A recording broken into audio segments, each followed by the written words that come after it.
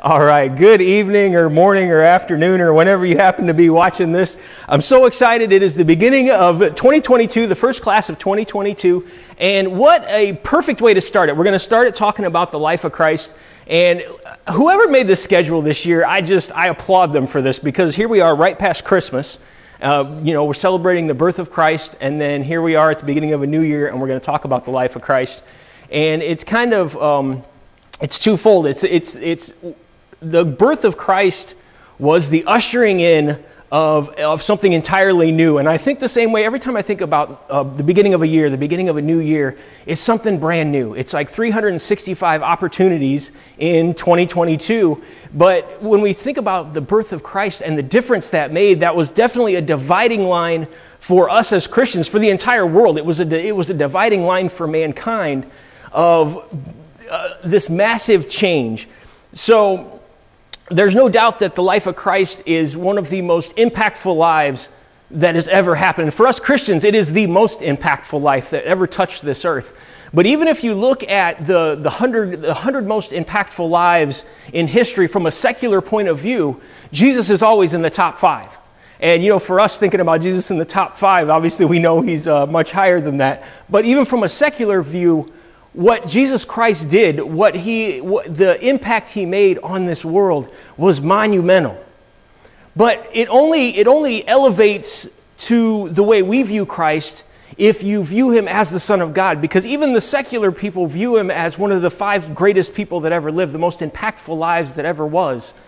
But for us, knowing that He's the Son of God, knowing what His life meant, knowing why He was sent, what His purpose was here, how that affects us, how that changes our lives, the opportunity that His life brings us that we never had before He walked this earth, it just, it, it, it's just off the charts how important this life of Christ is. So, uh, it's very fitting that we have a course immediately after Christmas uh, I hope you guys enjoyed your break. I remember when I was going to Bible college, I always look forward to that break around Christmas because it feels like it's a little bit longer. Maybe you guys read a little bit. If you're, who's taking this class for credit? All right. There is a book. If you're, if you're taking this class for credit, there's a book you're required to read. We're going to talk about that in just a couple minutes here. Uh, but again, the life of Christ was such a, a, a, such a change in, in everything for us. It changed the world. But it's a separation between hopelessness and hopeful. Before Jesus Christ, there was no hope of salvation for us. There was no possible way for us to bridge that sin gap that was created with the life of Adam, but that we still continue to this day. We, none of us can live that perfect life. So we are separated from God. We lose the ability to be in the presence of God. God can't be in the presence of sin. So once we sin, once we commit that first sin in our life, we have created a chasm between us and between God that we don't have the ability we don't have the ability to get across. And when when God saw that for mankind, he had such hopes for mankind. In the garden of Eden, this was the epitome of creation. When God created everything in the world, he looked at man and he was like, "This is the most incredible thing I have ever created. This is this is something that I'm going to put my own spirit into." What a difference between us and the animals that when, when we were created, if you read the creation story of Adam, that God knelt down and God breathed life into him. So when we look at all the other animals, all everything else that God created, He spoke it into existence. What, an, what a miraculous, how powerful our God is that He spoke mountains and oceans and all these animals into existence, spun the planets out just by speaking them. But for us, it was a, it was a personal connection. God breathed into us. He put a spirit into us that isn't present on any other, on any other living thing on this planet. But God so loved us that He wasn't satisfied to leave us in a state that we would be forever separated from Him. So it became necessary that He had to send His Son. He had to come up with a way that He was able to bridge that gap that we couldn't bridge because our, His relationship with us was so important to Him that He had to do something. So he sent Jesus Christ. And like I said, there's a separation between hopelessness and hopeful. It's a separation between what we couldn't do and what he could do. Again, we talked about our ability to reconnect with God. Every single person on this planet recognizes a need for God. And in the secular world that we live in, a lot of times we explain it as different things. We, we explain this, we have this spirituality that uh, has infected our culture that we want to make sense of this spiritual yearning from inside of us. We're all born with that desire to reconnect with God, that desire to have that relationship restored, because that's part of our original makeup. That's part of our original creation. God created us to have relationship with Him. So when we don't have that, it's this yearning inside of us that we know something's missing, and it's something that we so desperately want. But our culture comes up with all these different ways to explain that away, what that is, and, and how to fix that, and how eh, we see all these self help things of how we can fix that for ourselves. We can satisfy that desire in us that we just can't, we can't, you know, and, and we see a lot of hopelessness in society as they try to fill that with all these other things, but it never quite gets there. You know, it, it can work for a while, we feel better for a while, but it's never long lasting. It never satisfies that eternal yearning that we have inside our spirit, that spirit that God breathed into us. And then it's a separation between separation and relationship. That's exactly what we were just talking about. Our separation from God, our spirit recognizes that. And it's looking for that way to correct that. It's looking for that way to find its way back to God. And that way was created through the life of Jesus we believe that. That's, that's kind of the, uh, that is the basis of our, of our Christian religion, is that we believe that Jesus Christ was the Son of God. We believe that He came to this earth. He was a virgin birth. He died on the cross. He was resurrected. We believe all that. It's the only way that we ever have to regain that connection with God. So we're going to talk about that. We're going to talk about, uh, tonight we're going to talk about uh, Christ before his earthly existence. So we're going to talk about what Christ was doing before he came to earth. And uh, we don't believe that Jesus came into existence on Christmas morning, obviously. Um, we're also going to look at the purposes of his life. We're going to look at lessons from his life.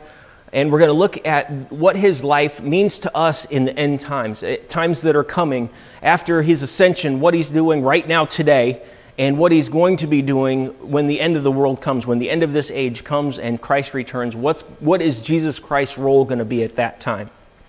So, like I said, we don't believe that Jesus Christ came into existence on Christmas morning, obviously. Uh, but God, Jesus is part of a triune Godhead, a three part Godhead. Uh, so, we're going to talk about that today, and we're going to talk about what he's going to be doing in the future. Uh, if you have the syllabus, like I said, if you're. It, okay, so I know nobody here is taking this for credit necessarily. I am going to highly recommend that you look at the syllabus. There is a book on there. It's called Jesus the King Understanding the Life and Death of the Son of God. It is a 300 page book. It is not I'm not going to give you guys like a phone book to read, uh, but it's, it's 300 pages. It's well worth a read. I always try to sign books that I'm like, this is going to be good for your, in your library. This is something good that you're going to want to have on your shelf. It's $15. The book is $15. So um, I highly encourage you to get that. I, in the course overview, I kind of split up how we're going to do the classes, what's going what we're going to talk about in each class, and um, that may vary a little bit. I also have my phone number, I also have my email address in there. If you want to contact me, if you have questions, I encourage you guys to contact me. All your professors try and put their contact information out there, but we really encourage you. If you have questions, if we say something up here that later in the week uh, it's just rattling around in your head and you want to talk about it, you got a question about it, I really encourage you to get in touch with me, and that's why I put my information out there.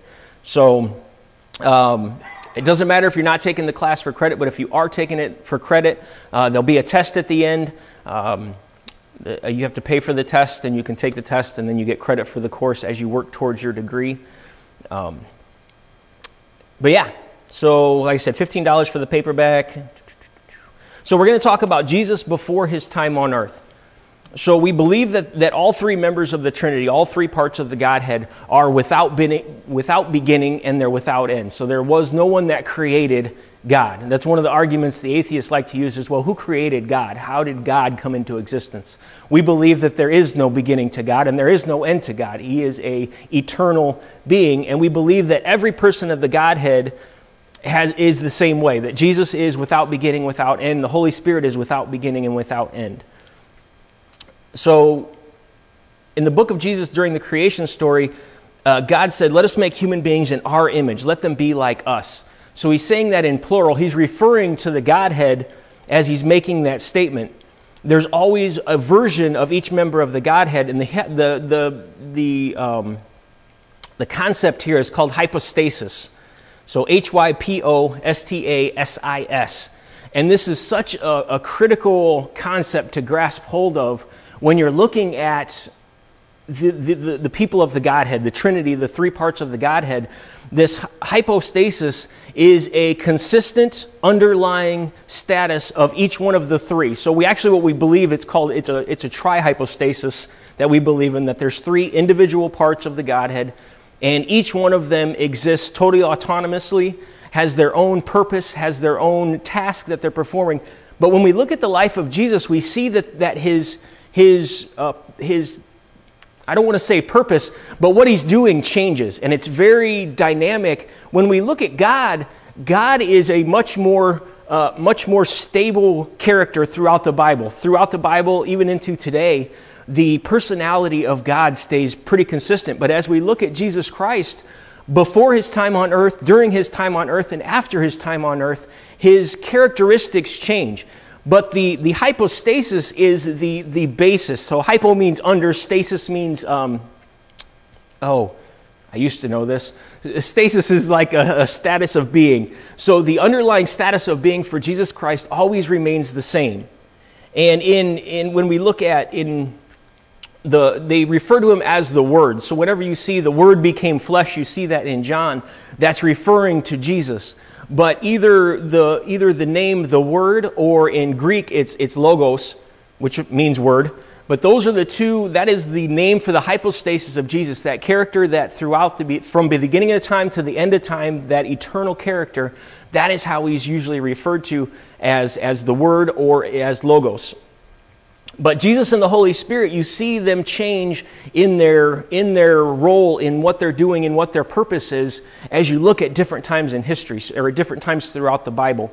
But we're going to be looking specifically at Jesus in this class, of course. So uh, we're looking at the, um, the pre incarnation. The pre incarnation. What was Jesus doing before he came to earth. So incarnation is a, is a physical embodiment of a deity. Uh, so it's the, it's the, it's God coming to earth in a physical form. So we believe that Jesus Christ was, was 100% God and he was also 100% man at the same time.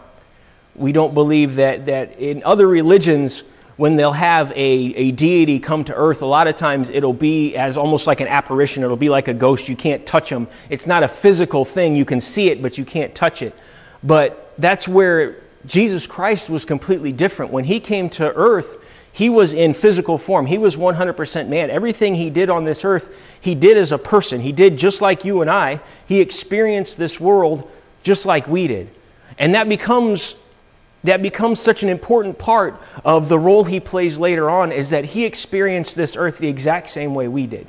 Uh, we came into this earth and, and we make mistakes and we make errors and we sin and we miss that, that perfect bullseye that God created for us, God created for our lives. Each one of us has our own specific calling, but we miss that.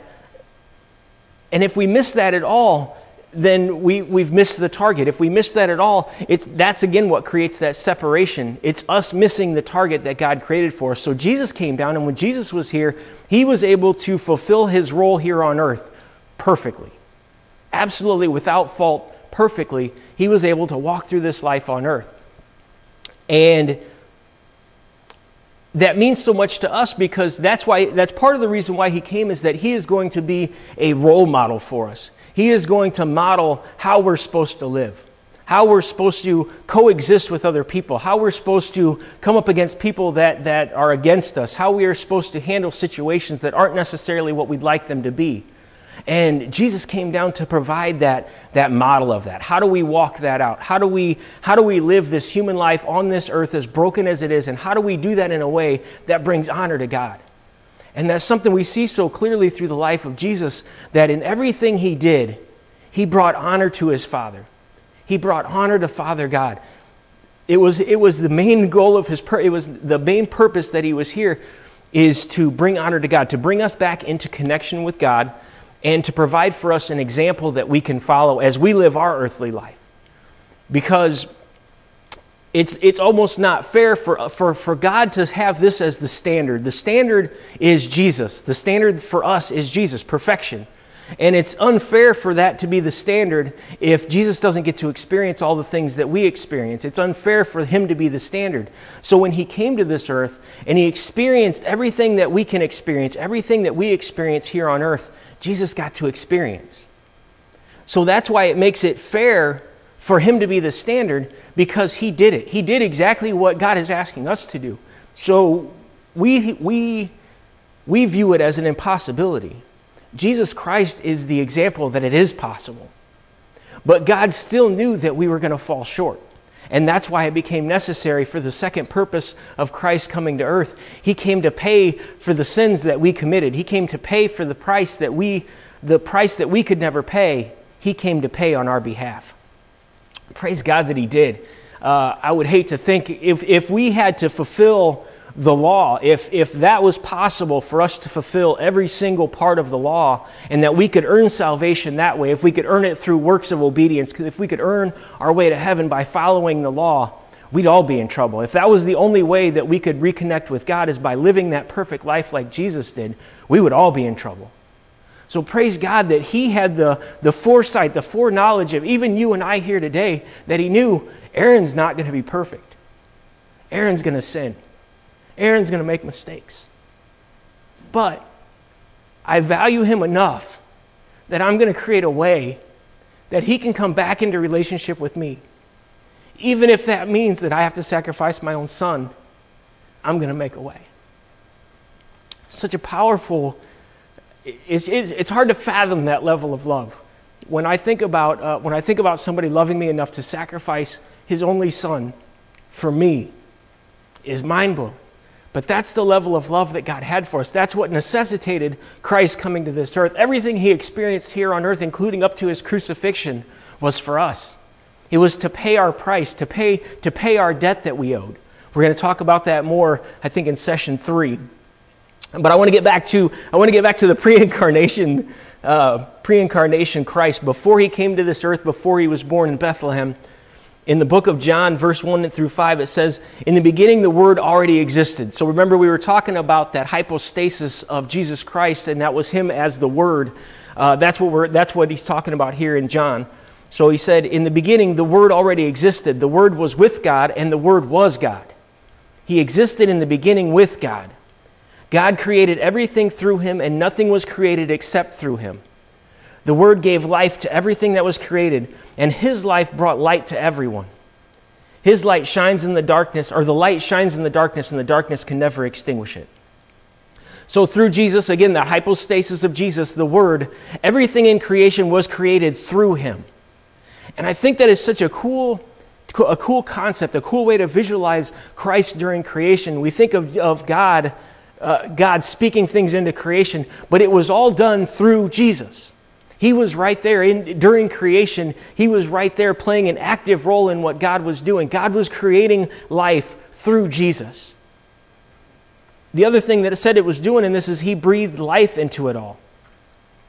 And we, when we go back to that creation and we talk about Adam having life breathed into him, that life that was breathed into him was through Christ. That life that was breathed into um, that life that was breathed into Adam during creation was breathed into him by Christ. I, I, think for so often when I was first hearing the story of creation, when I was a little child hearing about creation, I somehow missed all of this. That we look at it as it was God, it was God speaking all this stuff into existence. But all of this was done, all of this was done through Christ, with the Holy Spirit. All of that was here, all of that was here during the creation process. They all played a part in that. And we tend to want to separate those, but at the same time, it's always been the three working together. And throughout, throughout time, it has always been the three working together, fulfilling different parts. And even when Jesus Christ was here on earth, the three were all working in separate, in separate fashion to bring about the will of God, to bring about this plan and this purpose that He had for humanity. They all played a role in that the life of Christ, the Holy Spirit, when He came down in the day of Pentecost, all those things were happening simultaneously. And I think that just adds such a the idea of the Trinity is such a hard concept to kind of wrap your head around because we don't really have anything we can compare that to. The way, the way that, that Godhead works. All three of them equal, all three of them equal part playing different roles.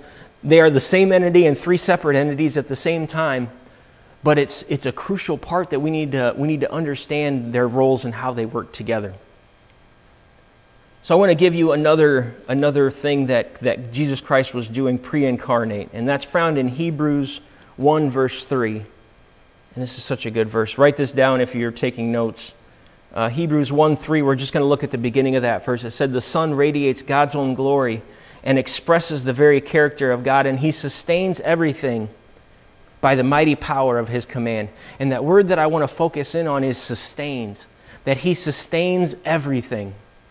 And I think Colossians 1:17 says it a little bit better. It says he existed before everything else and he holds all of creation together.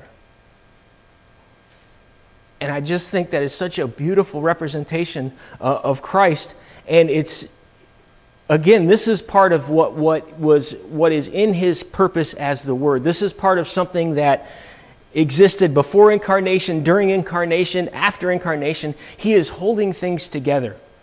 And one of the, there's a really great video out there, and some of you may have seen it. I'm sure you probably heard of Louis Giglio, and he does a great, um, a great video on laminin. And laminin is a, is a protein molecule.